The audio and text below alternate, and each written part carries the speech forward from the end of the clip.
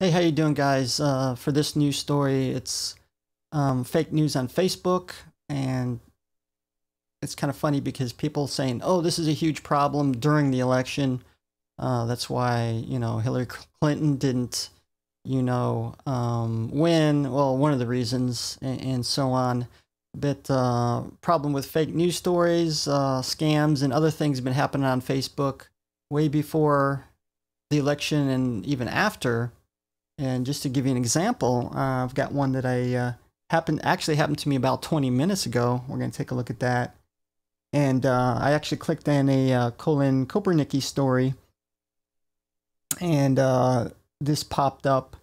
Uh, it's telling me I'm running Microsoft Windows, which is, um, you know, I'm not running Mac, so you know this is actually pretty much a scam trying to get money out of off of you. So as you can see, you know, it's always been a problem.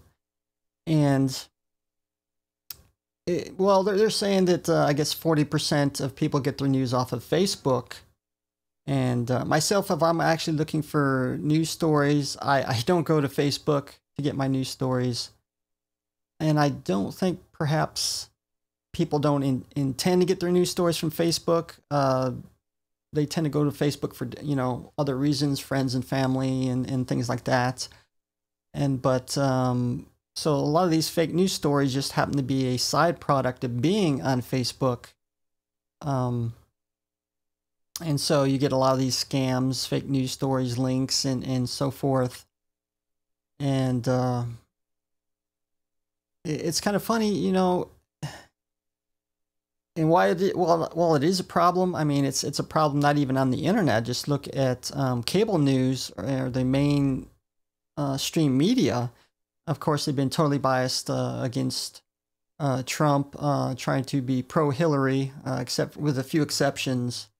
So, you know, it's a, it's a problem. You know, um, everywhere in, in many cases, and you know, when I, like I said, when I looking for serious news uh, for like a topic on my YouTube channel or uh, in discussion forums, I, I don't get to go to Facebook for that. I do my own research. I get it from more than one source, uh, usually a minimum of three sources. Um, and often what I do is once I go into that news story, um, a lot of them actually have discussion forums from Facebook or could be uh, many sources, a forum underneath uh, listing comments, and I actually read them because often that will point saying, "Ah, this has uh, been shown to be fake," and then you know, so uh, often that's uh, gives a little bit more legitimacy to the news store, or it's actually being false. So, and so yeah, um, if anybody's been on the internet any length of time knows uh, anything you see on the uh, internet you need to take with a grain of salt or even on cable news and do your own research first before you form an opinion. Um, it's and a lot of people post these links think, thinking they're legitimate it's you know to their uh, friends and followers or whatever and and often tend not to be. So and and I see a lot of people also linking I uh, did a news story on this uh, a month or two ago, where they would link, uh, you know, uh, the sob story of you know this person or child or whatever.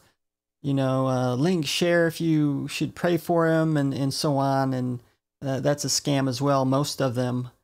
Um, you go to the actual Facebook profile page and you find out uh, this person often that's all they do link these pictures and try to get people to follow and uh, share and all that and uh, once they get enough followers they simply strip all that out and then they sell it to these advertisers and all of a sudden this person who you're following um, you're getting a bunch of ads so like i said um, do your research before you uh, form an opinion on anything you see on the internet or uh, mainstream media. So give me your thoughts on this.